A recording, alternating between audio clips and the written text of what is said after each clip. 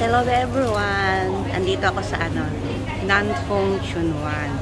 Ipapakita ko sa inyo kung paano ako mag-ipon, maka-save ng pera dito sa Hong Kong. Ayan, yung behind ko. Diyan, nakapabili na naman ako. Ayan, $50. Tignan nyo, oh. Ang dami nagsha-shopping. Ayan, guys, oh. Sobrang sobrang daming nagsha-shopping. Sobrang daming temptation dito, oh. Tignan mo, hanggang dulo yan. Ang daming nagsha-shopping. Tapos, nakabili ako ng $10 na socks. $10 lang siya, ayan siya. Kaya kung gusto ninyo makaipon, tara, samahan ninyo. Kaya ang dami, oh. Oh, ito.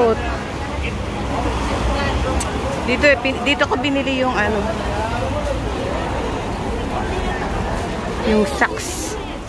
Yan $10 lang. Andito na ako sa Liksang Plaza. Yung mga bangko sa likod ko. Alam, ang dami palang tao. Maraming tao ngayon kasi Sunday.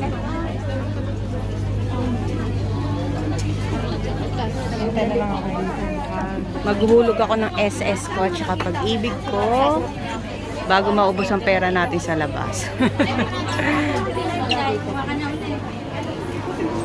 Ganyan para makaipon kayo. Daan muna kayo sa bangko kasi pag inuna ninyo ang mag-window shopping, nako po, mapapabili kayo di oras. Ayan, sa likod ko.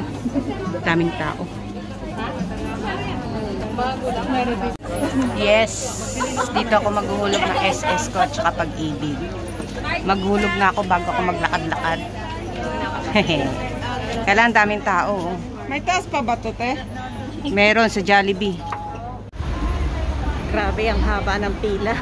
Balik na lang ako sa sa hapon na lang siguro ako mag ano, maghuhulog ng SS, pag-ibig at saka sa bangko para makatipid na ako ng pera. Grabe, ang daming ang kong nakikita magaganda rito sa labas. Crowded sa Liksang Plaza kasi today Sunday. Alam niyo naman pag Sunday, day off ng mga Pilipino dito sa Hong Kong. Ay, gusto ko magpalamig. Pupunta ako ng my favorite place sa library. Sa Chunmun bukas na siguro dito bukas na rin. Pero sana wala na yung ano no.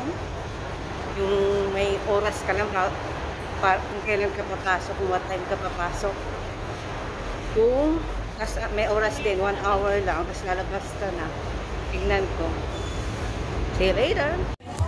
Yes, hello everyone. Yan, tapos na ako. Tapos na ako. Ngayon, 3 o'clock na in the afternoon. Ayan, para makaipon kayo ng pera dito sa Hong Kong, i-save ninyo sa bangko. Kasi kapag nag-save kayo dito, hindi ninyo mawi-withdraw dito sa Hong Kong. Doon nyo na mawi-withdraw sa Pilipinas. Kaya, ba, no choice ka kundi magtiis para makaipon ka. I-save na ninyo dito sa Hong Kong. Dito sa bangko. Thanks for watching.